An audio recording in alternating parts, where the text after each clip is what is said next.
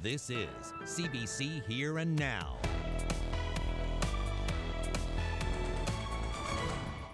Tonight, shocking testimony. Al Potter admits to stabbing Dale Porter, but he says it was in self defense.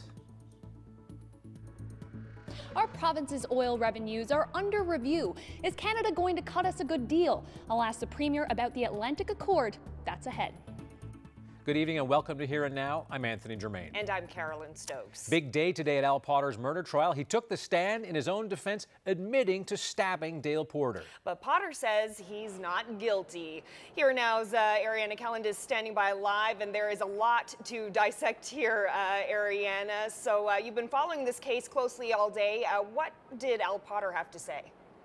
While Carolyn, with shackles on his feet, Al Potter shuffled up to the witness box, placed his hand on the Bible, and swore to tell the truth, and he was not short on detail. He was animated, insistent, and at times dramatic as he reenacted what he says happened in the early morning hours of June 29, 2014. Now there's no denying Al Potter was here. Evidence presented earlier in the trial, like this cigarette butt, placed him at the crime scene. Now it appears to be a moot point. Potter says he went back to Dale Porter's home that night with Porter and Potter's friend. Things were fine, he says, until his friend asked Dale Porter to get some cocaine for him. Potter claims Porter's demeanor changed, and he began telling Potter's friend that he would sleep with his girlfriend. He says Porter also disrespected the Vikings' colors. We can't tell you the name of this friend as his identity is covered by a publication ban. Dale Porter's sisters wept in the courtroom while hearing Potter's version of events. Potter tells the court he doesn't want to upset the family with the negative things he says Porter said. Potter claims he whipped out his own knife in defense of himself and his friend. Potter was animated as he reenacted what he calls a knife fight. Porter, he says, came at him first, and Potter says he tried to knock the knife from his hand but couldn't. A medical examiner has testified that Dale Porter was stabbed 17 times and cut four times. While he lay dying in his driveway, Potter and his friend got a cab back to this clubhouse in Cupid's where he checked himself out. Potter says he too was hurt. Upon cross examination, he says he isn't guilty of any crime, at least not the way he sees it. As for the undercover operation which led to his arrest, Potter claims he was afraid for his life, that the officers would kill him and bury him in a shallow grave. And as for him knowingly joining a violent business, he says he was not aware. Potter says he went along with burying what he believed was a dead body because he felt he had to. Now, it's expected Al Potter will be the one and only witness for the defense. And now that the jury has heard that Al Potter stabbed Dale Porter, they'll soon get to deliberate his fate. Was it planned and calculated first degree murder or merely self defense? Reporting live for Here and Now, I'm Ariana Kelland in St. John's. Progressive Conservative leader Ches Crosby says something's up with the Atlantic Accord. The opposition leader held a press conference today to raise suspicion over the ongoing negotiation between this province and Ottawa. Here now's Katie Breen was there and she joins us now live. So, Katie, what did Crosby have to say? Well, his point was in semantics. Under the Atlantic Accord, he says Newfoundland and Labrador is the principal beneficiary of oil revenues off our coast, but Crosby says lately, instead of principal beneficiary, the government has referred to the province as the primary beneficiary. And he says that change in language is suspicious. For O'Regan, Ball, Coady, uh, Whalen, all of these people to start using that word in the last few months, something's up. Crosby noticed the language change in recent media reports. He didn't ask the Liberals listed what the difference meant, he just called a press conference saying the two terms had different legal definitions. The Premier was quick to shut that idea down. some of the language has been interchangeable, and not just you know, by me in, in recent days, but has been interchangeable for decades. The Atlantic Accord was first signed in 1985 and lays out this province's and Ottawa's share of the oil and gas revenue. Now the agreement is up for review. The Premier says this province isn't giving up its hard fought position as the principal beneficiary of the offshore, but the opposition says it's hard to be sure of that because the Premier is negotiating with Ottawa in private. Our discussions right now they're meaningful, they're productive, and I will tell you right now, on behalf of Newfoundlanders and Labradorians, I will stand up for the best interests of Newfoundlanders and Labradorians. No fear with that. When asked if equalization payments are on the table, Ball said a host of things are being discussed. Right now, anything, any place where the benefit to Newfoundlanders and Labradorians, that's what the discussion's all about. The Prime Minister was here in the province last week. He met with Ball then to discuss the accord. The pair are committed to having the review completed by March 31st.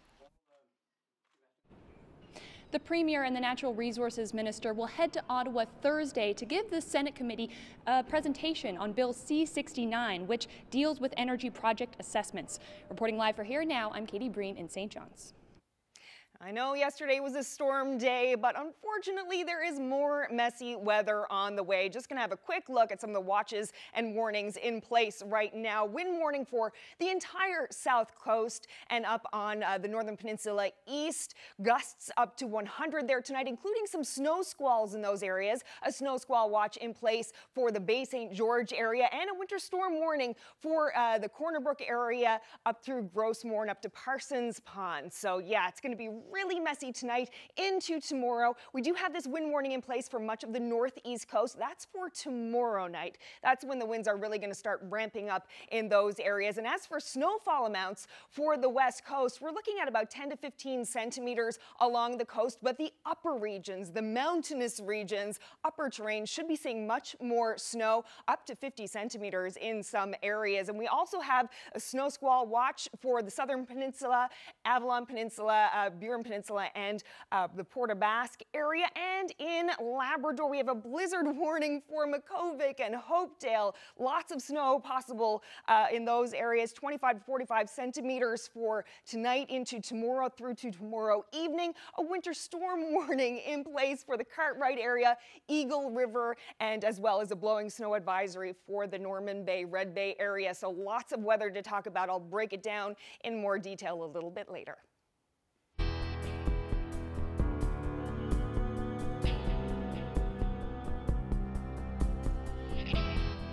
Former Premier Paul Davis says his government was kept in the dark about cost overruns at the Muskrat Falls project. Davis was premier during what has been described as a slow start for the project's main contractor, Astaldi, and he was also a cabinet minister when the project crossed a so-called point of no return. Davis testified at the Muskrat Falls inquiry today. Here now's Jacob Barker was there. He joins us now live. So Jacob, what did the former premier have to say? Well, Anthony Davis said that if he had known some of what he's been learning here through the inquiry, it may have changed key decisions uh, the government made uh, through the construction of the project. And he said that nobody in the government was informed of cost overruns even before that federal loan guarantee for the project was put in place. Once that was put in place, the project had to go ahead. And again, I stress, I don't know if the outcome would have been different, if the decision would have been different, but it certainly would have been a conversation and a discussion. Well, I, re- I realize it's impossible to say what the outcome would have been, mm-hmm. but it, I'm, I'm suggesting that as a minimum, it would have caused government to pause and reflect on the wisdom of proceeding with this project. Is I that think a that's fair way to put it? I think that's fair. An internal Nalcor email entered into evidence by Commission Counsel today also casts a shadow on the Crown Corporation. The email is dated just 10 days before the point of no return, when the province secured its federal loan guarantee, and it shows a rise in cost of more than $300 million over Nalcor's initial estimates. Do not provide to NL, the email reads, and marks the information confidential and commercially sensitive. This appears to me direction to make sure that access to that information is not, uh, is not provided to the government. Okay. And you can't explain why that would be, uh, No, sir.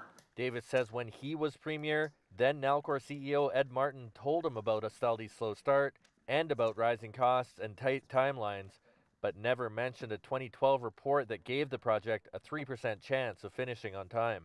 He may have used terms that uh, and acknowledged that there was pressure on the schedule and there were challenges on the schedule, but I don't remember any numbers like 1% or 3% likelihood of achieving schedule. I, I, I don't have any recollection of that.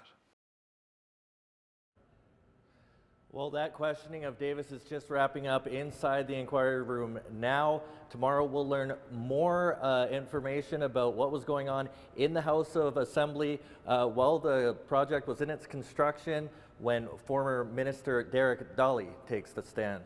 Reporting live for Here and Now in Happy Valley Goose Bay, I'm Jacob Barker. And we'll hear more from former Premier Paul Davis at the Muskrat Falls Inquiry. That's coming up in about 20 minutes. Well, there are new details about the severance package for the top official who was in charge of getting Muskrat Falls power from Labrador to Newfoundland. Nalcor announced that John McIsaac had left the Crown Corporation a couple of weeks ago. And according to his executive contract, McIsaac is entitled to a lump sum payment or continuance of salary equal to 20 months of service plus benefits. McIsaac's base annual salary was $330,000, and he was also able to earn a yearly bonus of up to 24% of his salary. Well, the provincial government wants towns and nonprofit groups to put their heads together and come up with ways to make transportation more accessible. A call for proposals was announced today at the Metrobus depot in St. John's. The government is looking to fund transportation programs aimed at seniors, people with mobility issues, or anyone who can't fully participate in their community because of lack of transportation. Grants of up to $100,000 are available, and the deadline to apply for them is March the 19th. The hope is that some innovative ideas will be brought forward. You might have an elderly person that would donate their vehicle and because they can no longer drive and then other people can offer to drive it for certain hours and we just need to step in with a little bit of support and help them coordinate things like that. It's not rocket science. It might just be a small bus that goes once a week to help with doctor's appointments, to help pick up groceries. There's many, many things that can be done. And now that there's some financial support, oh, it's going to be wonderful and, and it will really benefit the seniors of this province. Well, there's more bleak news today for those invested in the province's crab fishery. This year's stock assessment from the Department of Fisheries and Oceans shows what officials had suspected. The snow crab biomass remains in trouble. Here and now, Cease Hare has the details. After the cod collapse in the early 90s, snow crab stocks flourished and crab was king.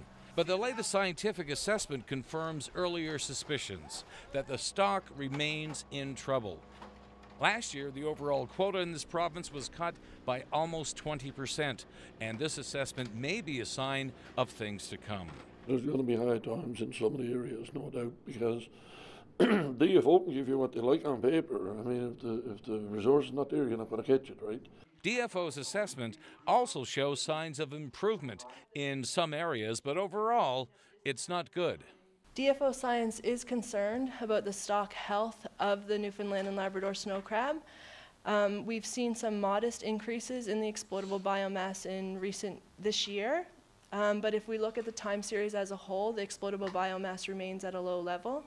One area that's in serious trouble is 3L, the inshore sector from Bonavista Bay all the way down to the bottom of the Avalon to St. Mary's Bay. DFO says stocks there are seriously depleted.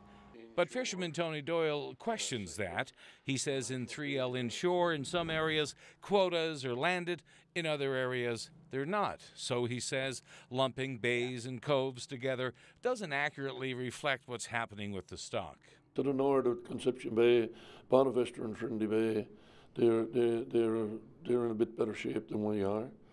And uh, Conception Bay and and here off St. John's are uh, in the in the really in the in the troubled area, I think. To that end, the FFAW takes exception to DFO's approach in coming up with its numbers, adding its members need to be at the table.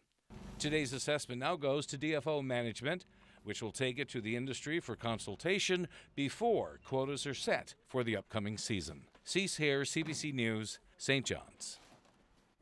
Well, the province's latest lottery winner walked into the Atlantic Lottery Corporation offices today to pick up his big check. Yes, he calls it a surreal experience. Ladies and gentlemen, the man who won Set for Life, Adam Kreiderman.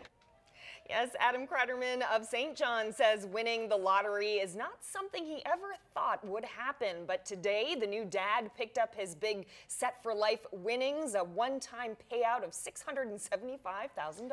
And Kreiderman says he can see a few purchases in his future, including a new pickup truck and a new house. And he's going to pay off some bills, but he says his top priority is taking care of his five week old daughter. At the end of a long day of work, um, got home, put the groceries away, went up to the store to get a few things, and uh, picked up one of those tickets. Got it home and uh, did the scratch, and you know I've been shaking ever since, trying to let the reality set in. Oh, it's it's it's just a it's a surreal thing. It's it, it means everything. It's the you know uh, setting up a family like I am. This offers a level of security and stability uh, never thought was going to be there. So it's uh, yeah, it means the world. That's awesome. Wow. Five week old baby, Mhm. $675,000. Going to say a winner on the young side of things. Uh, put that money into scholarships and all that for that five week old. I yelled and I, I whistled and I dug in the snow and I looked under vehicles and I, I truly felt that if he was there and he, he would have came. A 15 car pileup. And a CBS family that lost their Shih Tzu in all that chaos. We'll have Obi's story coming up after the weather. As a man in this country, that seldom is mentioned in song. And later in the show, remembering Chuck Lewis. The booming voice of masterless men who died Sunday after a cancer diagnosis. We'll look back at his career.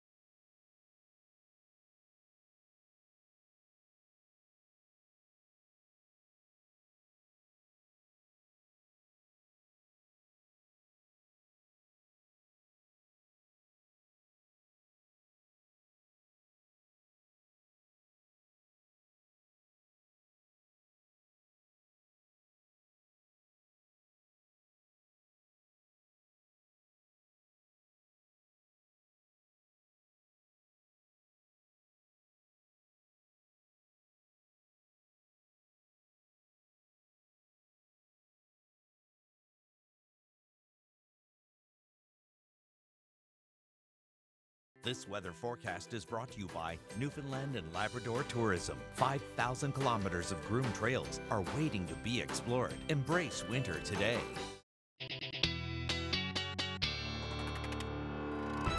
All right, lots of weather to get to. Yeah, but right? before we get to that, uh, someone on the island had some special visitors yesterday. Yeah, Katie Myers captured these big critters on video yesterday morning in her front yard in Portugal Cove, St. Philip's. And as you'll see, they're munching on the greenery with full delight. That's a real close-up look. Yeah, the all-you-can-eat salad bar in Portugal Cove, St. Philip's. She must be uh, very unhappy with her yes, bushes being I just destroyed. planted those last summer. Oh, The and he's they're going pretty, for another one. pretty bold. Yeah. Look at that. There they go. I think at some point they realize, oh, hey guys, we're busted. We're on the video. The Iron Seal post this, and there we go. And off we go.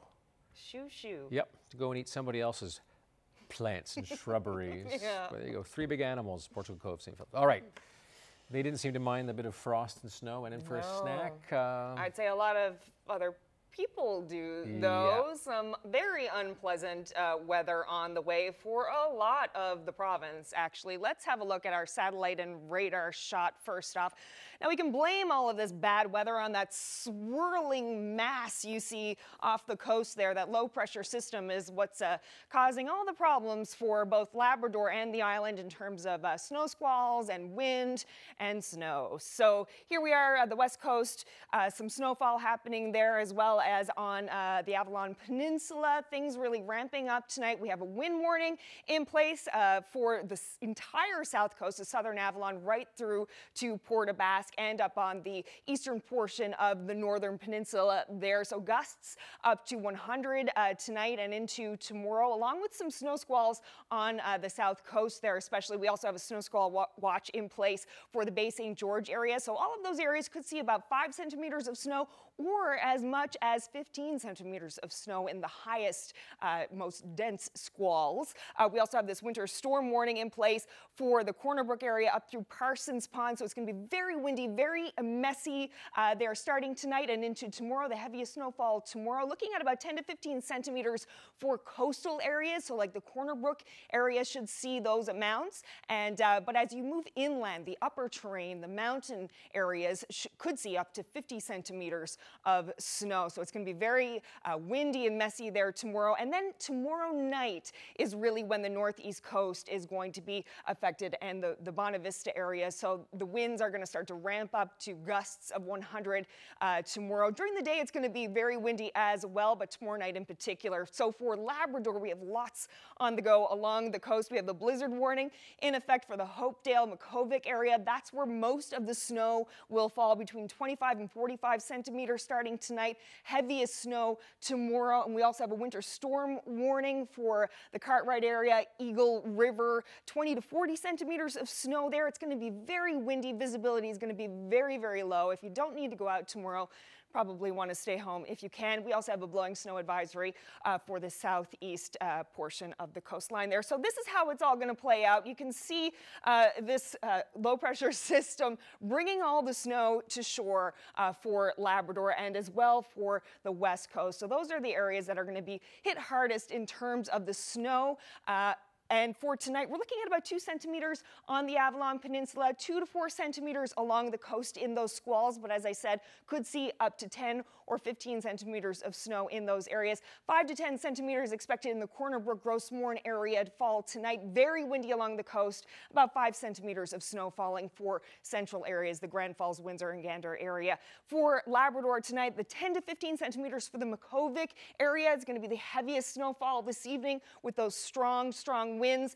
For Lab City, looking at some cool wind chills tonight, minus 39 overnight tonight. So very, very, very cold. Risk of frostbite for sure. So tomorrow, this system just sticks around and continues to swirl around and cause a big mess, especially for the west coast and for coastal Labrador. You can see there. So for uh, the Avalon Peninsula, we're looking at some morning flurries, but then that should clear off. Going to stay very windy though throughout the day. Going to stay that way for much of the week, actually. Windy as well for the northeast northeast coast where that wind warning is in effect. Not a whole lot of snowfall there, about two centimeters expected there on the west coast, five to 15 centimeters uh, along the coast in the Corner Brook area tomorrow, and then 25 as you move inland, and winds staying pretty strong there as well with gusts up to 80, 100 along the south coast. In the straits, looking at about five centimeters of snow for the Marys Harbor area, but as we start to move up the coastline, that's when the snowfall is going to start to get heavier. So the Makkovik area, looking at about 10 to 20 uh, centimeters of snow with high, high winds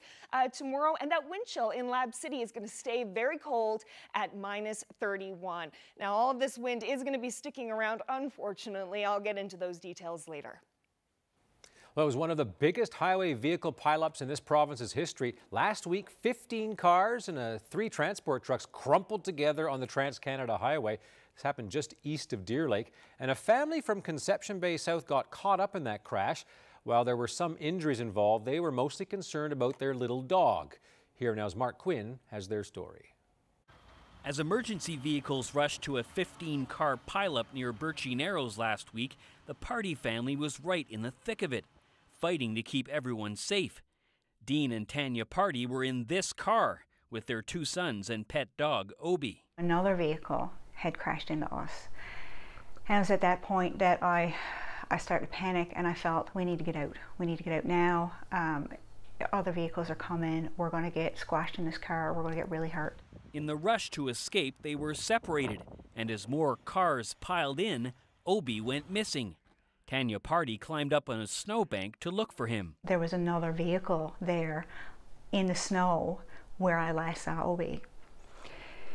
So I, I called and I called and I yelled and I, I whistled and I dug in the snow and I looked under vehicles and I, I truly felt that if he was there and he, he would have came. And Pardy kept looking even though her foot was broken in three places. I didn't have time to concentrate on that. I had to make sure that my boys were okay. I, I, I, I needed to look for the dog, and I also needed to get the boys off the scene because there was there was a lot of things there that really nobody needs to see. Heartbroken, the family returned home to CBS, but then a social media post struck gold. Someone saw Obi next to the highway near where the crash had happened. My husband was sitting right next to me, and he, and he said, There's a flight to Deer Lake in an hour. What do you think? Should I go? And I said, I think you should. So he ran out the door, went to the airport, jumped on the last seat on that flight, and uh, flew to Deer Lake. Obi had been in the woods alone for five freezing cold nights. Somehow he survived, and Dean Pardy found him. Tanya broke the news to her sons, Joshua and Jonathan. I said, Dad, he's got Obi, he's got Obi. And we all, we cried and we cried and we cried. And we probably cried more than we cried the night he was lost because we were so devastated. The once 18 pound Shih Tzu had lost some weight, but was otherwise all right. He's gotten a lot of treats and a lot of love since he got home. What the Pardy family saw was traumatic, life altering even, and they say they have a lot to work through. But at least now, all five of them are together. Mark Quinn, CBC News, Conception Bay South. Wow. They say cats have nine lives. Yeah, That's right? incredible. How, how do they manage to live? Amazing. And it was so cold and so stormy. I know, so many Yeah. days as well. I think many dog lovers really feel Yeah. uh, for that family and what they went through. All right, at least uh, Obi is home and safe, and the accident's a thing of the past. Well, we're going to stay with pet news. Now, dog lovers across the country are going to be very familiar with this growing problem in public spaces owners who don't pick up properly after their pets. And for those who do, what do you do with all of that stuff? Well, in Vancouver, that stinky dilemma has led to calls for special doggy bins. The CBC's Uguen-Csenge explains. You've all seen it before a dog shamelessly doing its business before running off, its owner nowhere in sight, leaving the pup's poop out in the open, and frustrating those dog owners who diligently scoop their poop. It comes with the territory. If you're gonna have a dog, pick up its poo.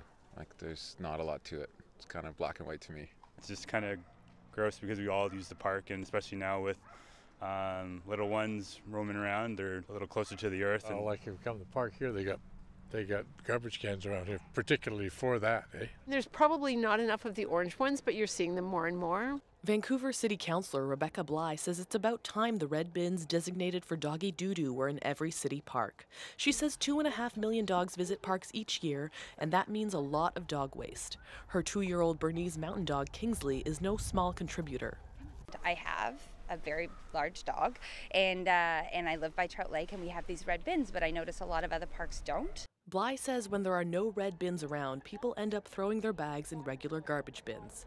The dog waste then ends up in landfill when it should be treated at a wastewater plant with other sewage. Landfills are already full of all sorts of different garbage. You know, diapers are another issue. Um, and so adding dog waste when we can easily do something different with it seems like a, uh, a responsible thing for us to do as a city. Metro Vancouver staff say they already have almost 300 red bins collecting 150 tons of dog waste a year. We've rolled it out to the majority of our parks with large amounts of dog waste. Um, from from the studies, we we look at what's in the garbage in our parks, and the ones with a lot of dog waste, we put the red bin program in.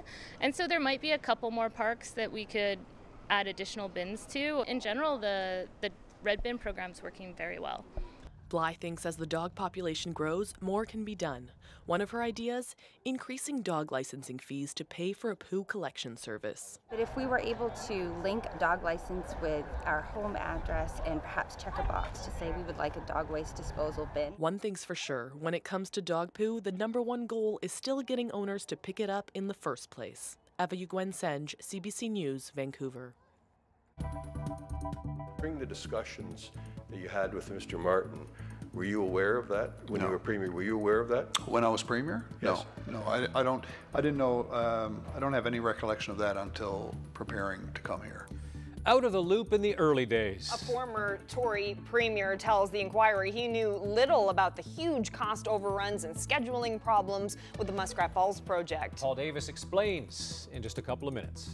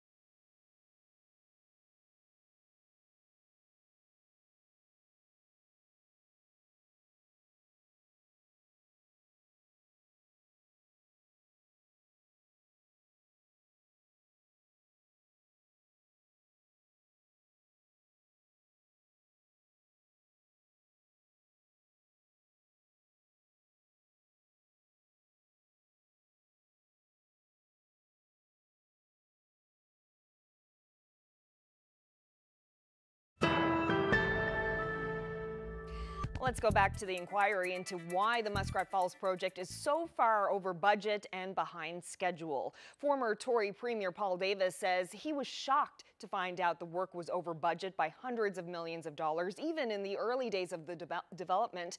Well, today Davis was also asked whether the former head of Nalcor, Ed Martin, ever talked to him as Premier about the impending scheduling problems, especially with the main contractor, Astaldi.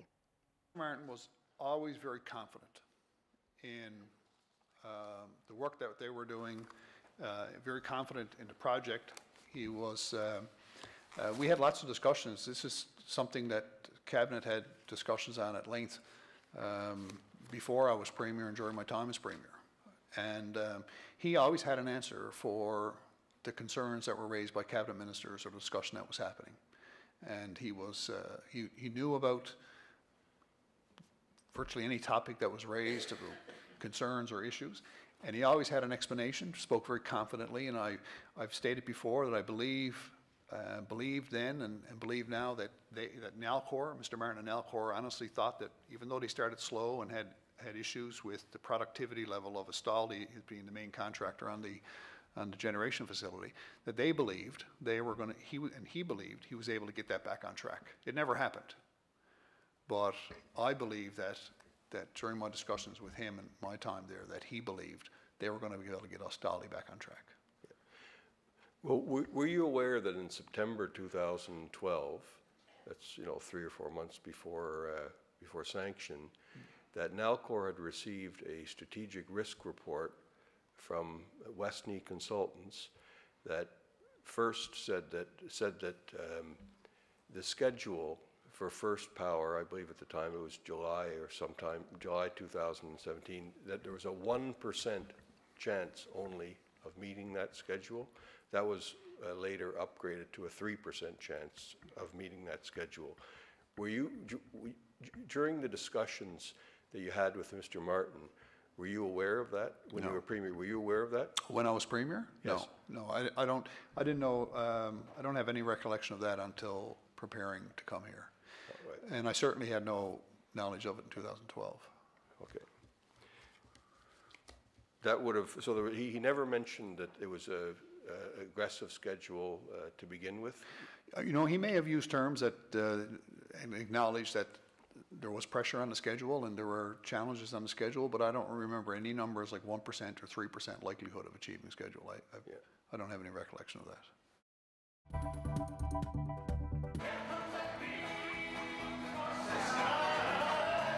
He was a masterless man with a rich, booming voice. Chuck Lewis passed away on Sunday. He was just 44 years old. We'll look back at his musical career.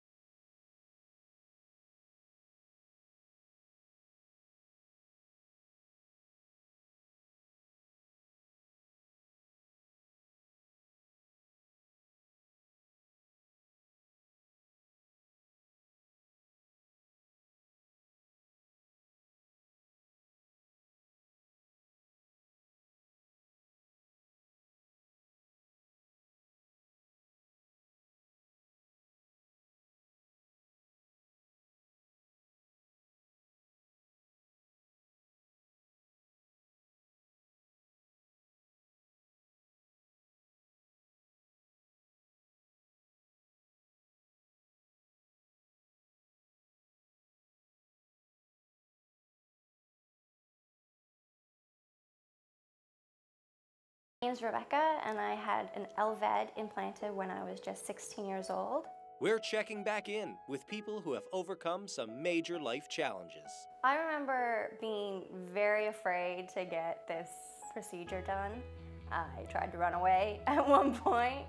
This is My Story, a new series with segments every two weeks on Here and Now. And this is my story. Rebecca Norman, coming up on February 27th. Welcome back. Well, a stalwart of traditional Newfoundland music has died. Chuck Lewis was the unmistakable voice of the Masterless Men, sometimes powerful, sometimes soft, but always full of emotion. He passed away on Sunday at the Health Sciences Center in St. John's, surrounded by his family. Musician Mark Hiscock remembered Lewis in a post on Facebook, recalling how he'd call him on stage to sing with Shanneyganock back when the band was first starting out. Hiscock says Lewis added an unforgettable stage presence to the Masterless Men, calling him big in stature and big in voice. Chuck Lewis's deep, rich voice was unmistakable. The 44-year-old played with the Masterless Men for decades. The band were fan favorites on George Street, but he also gave back. In 2003, Masterless Men were part of a massive fundraiser for Badger after a devastating flood. Lewis was from Badger and said it meant a lot to him to be able to help. Uh, you know, you'd like to be able to help, and certainly on the other side of the coin, there's there's not much you can do to help uh, physically, and so that's why I think this benefit means a lot to me to be able to uh, perform and, and contribute that way to the uh, the relief effort. The musician had been diagnosed with cancer. In his obituary, Lewis's family says his fight against the disease taught them all valuable life lessons to be kind to all and help anybody in need. A funeral is planned for Friday in Lewis's hometown, Badger. Well, now to a major development in the story that's been dominating federal politics. Jody Wilson-Raybould is now clear to tell her side of the SNC-Lavalin controversy to the Commons Justice Committee. The Prime Minister has waived attorney-client privilege and cabinet confidence for Wilson-Raybould. It's a move that's being described by many observers as extraordinary. Here's what Prime Minister Justin Trudeau said this morning on his way into cabinet. Uh, important that uh, people get an opportunity to testify at, uh, or share their point of view at committee. Um, as we said, uh, waiving privilege, uh, waiving cabinet confidentiality is something that uh, we had to take very seriously, but I'm pleased that uh, Ms. Wilson-Raybould is going to be able to share her perspective. Now, Wilson-Raybould will speak to the Justice Committee tomorrow afternoon. She's been granted also her request for a 30-minute opening statement. Now, the waiver of privilege does not cover her communications with the Director of Public Prosecutions, and that restriction is meant to uphold the integrity of the ongoing criminal proceedings involving SNC Lavalin. Well, cannabis edibles are moving up on the priority list for some chefs across Canada. Weed-infused drinks and food have been ranked as the top up-and-coming food trend in a recent survey. To find out what the foodie culture of pot holds, the CBC's Chris Glover headed to the Restaurants Canada show in Toronto. Even if it's a bit bumpy sometimes. Did you order this? No, I did not. No, yeah, I think he's got the wrong table. Yes. Chefs are always looking to the future for the next hot food trend. Everywhere we go, people want plant based. Plant based burgers are among the hottest foods right now, but in a survey by Restaurants Canada, weed infused beverages and food are number one and two on the list of what's next. And the up and comers could be potentially the next hot trends at restaurants. Are people surprised to come into your area here and see robots and weed? Yeah, 100% they are. I am surprised still. Chef Charlotte Langley curated the restaurant of the future for Restaurants Canada. By showcasing these recipes that are standardized recipes, and we're working with all of our cannabis partners, it's a really good starting point to start the education and the conversation of cannabis use in, at home. What do you think the top trends are for 2019? I'm sure cannabis is right up there. This Mississauga couple is interested in possible experimentation with cannabis in their cheesecakes. We love this show. It's, it's like Disneyland for us. Um, and we uh, come here to do Uh, some exploration. Toronto's Board of Health says don't explore cannabis in gummy bears and candies. Today, it accepted a recommendation to urge the federal government to ban certain edibles that appeal to kids. But some entrepreneurs aren't digesting the news well. And if you don't include all forms of edibles, then you're going to get into the problem where certain forms of edibles will just be on the black market. So it's kind of um, strengthening the black market in a way when really you want to have full product diversity. I'm nervous. I'm a parent, but I'm also a businessman, so I I sit on the fence there of like, do I want this or do I not want this? The Bald Baker keeps his line of sweets on trend. Right now, that means vegan and gluten free, but he's already practicing with pot. I think it all comes down to the packaging and the way you actually sell your product. If it's properly positioned as, you know, an adult edible, not a kid's edible, then I think it's fine. He says once the cannabis craze is over, there's a diabetes epidemic that people are starting to realize. Sugar reduction is the next up and coming trend he's watching. Chris Glover, CBC News, Toronto.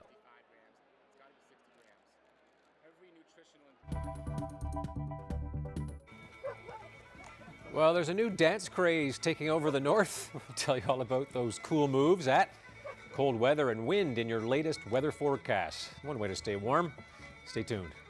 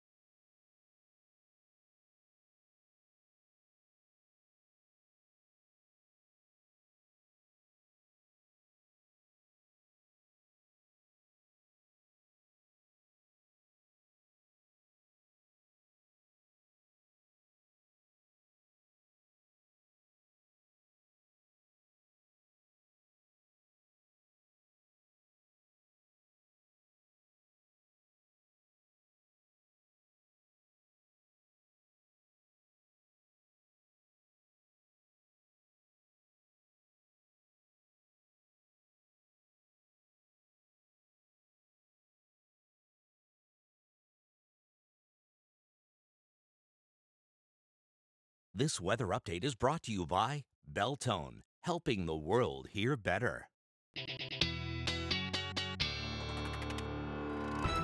First, a weather related story. It looks like the jig is up and it's going viral. Yeah, there's a new way to stay warm this winter. Okay, well, this is called ice road jigging. The cool moves started in Manitoba and uh, have been moving north by storm. The very Canadian dance craze has turned into a friendly online challenge between Indigenous communities across the prairies. Mm -hmm. And locals say it's a great way to uh, celebrate the northern spirit and to recognize the importance of ice roads. Mm -hmm. A lot of communities, uh, isolated ones, have uh, frozen roads, basically uh, ice sheet across the lake the only way in or out of some places in the winter. Mm -hmm. So it's the ice road jig. Yeah. Plus you get to dance with a dog. Yeah, who doesn't want to do that? well, the actual roads uh, in the province yeah. and in Labrador are pretty icy as well mm-hmm. and snow covered in many places. Uh, let's have a look at some of the wind chills. So very windy for pretty much uh, everyone on the island and coastal Labrador, but the wind chills are really cold too. Right now, the wind chill in St. John's is minus 14, minus 24 in Port aux Basques, and Labrador City minus 25, and going to get much colder than that overnight tonight. One quick look at these watches and warnings in place because there are so many. Uh, along the south coast, we have a wind warning in effect, plus all of those snow squalls, particularly if you're in the southern Avalon and the Burin, Connaigre area is going to be really squally uh, there tonight, as well as the Bay St. George area and the Corner Brook area up through Parsons Pond, uh, looking at a winter storm uh, warning in place. High winds gusting to 100 and lots of snow going to come down uh, tomorrow. And we also have the wind warning for the northeast coast for tomorrow night. We also have a blizzard warning for the Makkovik, Hopedale area. Could see as much as 45 centimeters of snow tonight into tomorrow. Winter storm warning, 20 to 40 centimeters of snow there. Very poor visibility, lots of high winds and blowing snow in the southeastern portion of uh, the coast there in Labrador. So quick look at the forecast for tomorrow. The heaviest snow looks to be on the west coast for the Corner Brook area and up through Parsons Pond, 5 to 15 centimeters. But as you move inland, going to get a bit heavier there. Could see as upwards of 25 centimeters of snow. And you can see the high winds on the west coast, they're gusting to 80, gusting to 100 along the south coast. And uh, for the St. John's Avalon area, it's going to be very windy there tomorrow with some morning flurries. Uh, so very blustery as well as for the northeast coast. So pretty much everyone uh, is going to be seeing a very blustery day tomorrow and for the next couple of days. So the worst weather is probably going to be in the Makkovik Hopedale area. 10 to 20 centimeters of snow falling there there tomorrow. Very, very windy, gusts up to 100.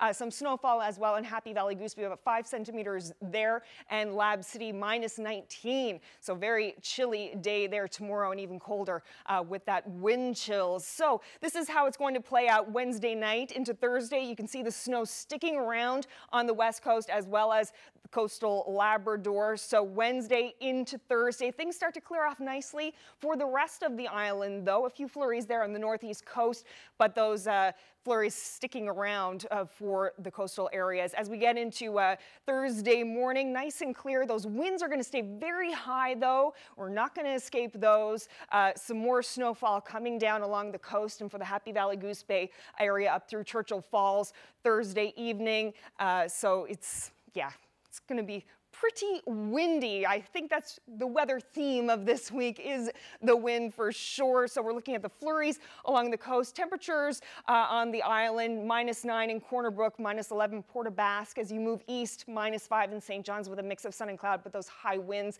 along the coast. More snowfall, more high winds persisting. Happy Valley or rather Lab City, looking at minus 20 as the high. So staying very cold there with a mix of sun and cloud on Thursday. So Thursday night into Friday, things will start to ease up a little bit in terms of the wind. Still some snow coming down along the coast, just relentless there this week for sure, but looking fairly clear uh, on the island as we head into Friday and head into the weekend. So on uh, Friday for St. John's, looking at minus six as the high. Those winds are going to stay fairly high during the day, but as we get into the evening hours, it's going to start to ease. And then we're looking at a fairly nice Saturday. It's still a little bit early, but right now we're looking at a mix of sun and cloud and then a chance of some flurries moving in on Sunday. For central areas on Friday and Saturday, looking at a mix of sun and cloud. Winds should start to ease there on Friday uh, as well, and a chance of flurries there for Sunday. So a very similar forecast in central uh, and the east. For western Newfoundland, a mix of sun and cloud on Friday,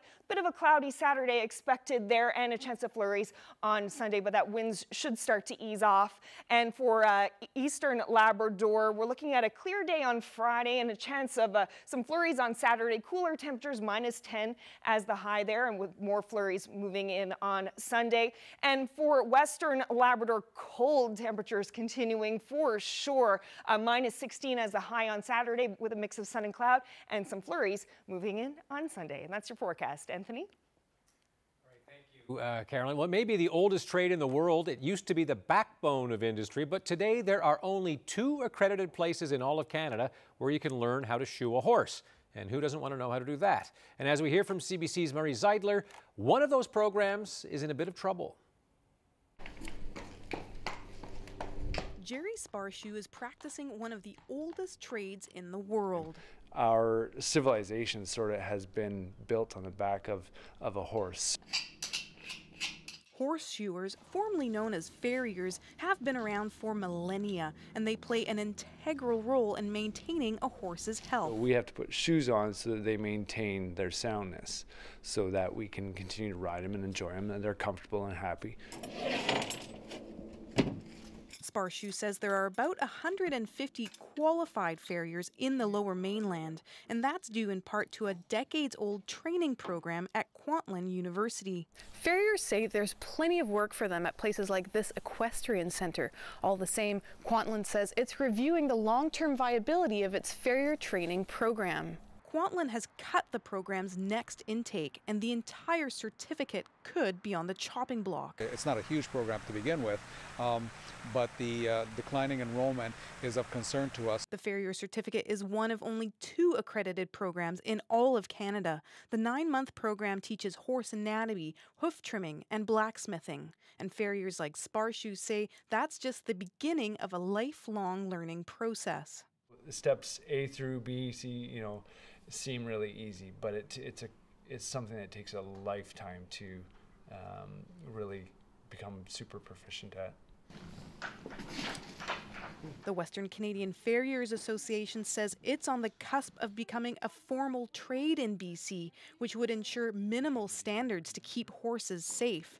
But farriers say cutting the Kwantlen program would put that process at risk.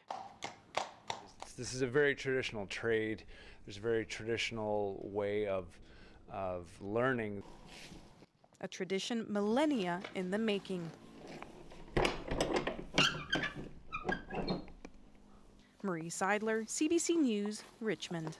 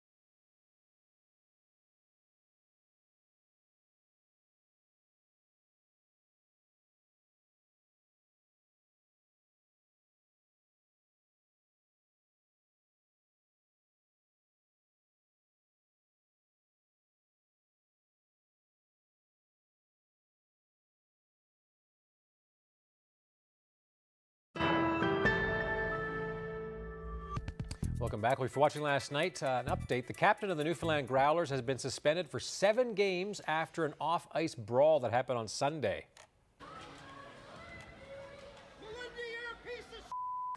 Yeah, it happened on Sunday in Brampton, Ontario. The Growlers, James Melindy and Brampton's Mike Folks traded blows before the puck dropped. Both men are out for seven games, of course. If you're not a hockey player, you'd be in jail by now. Uh, they were fined an undisclosed amount of money. Brampton will face Newfoundland again on Friday in St. John's, but neither Melindy nor Folks will be on the ice.